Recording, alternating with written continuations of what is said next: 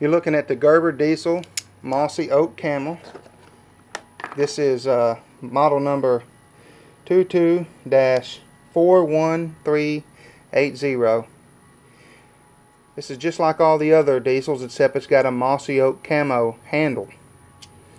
As you can see, it's got the reinforced plier jaws on it with a nice uh, wire cutter in the middle. It's got inboard components. Got a saw, a couple of can openers and screwdriver, pair of scissors.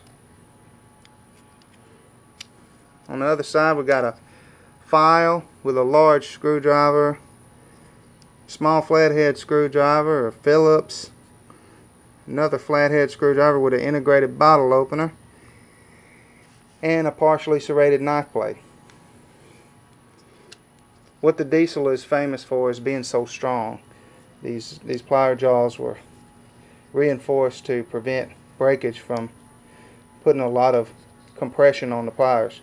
And as you can see when the pliers are fully closed, there's still a gap in them so you're not going to have to worry about pinching your skin whenever you squeeze on the pliers. Or if you slip off of your target, you don't have to worry about them snapping down on your palm. This is the Gerber Diesel Mossy Oak Camo version, model 22-41380.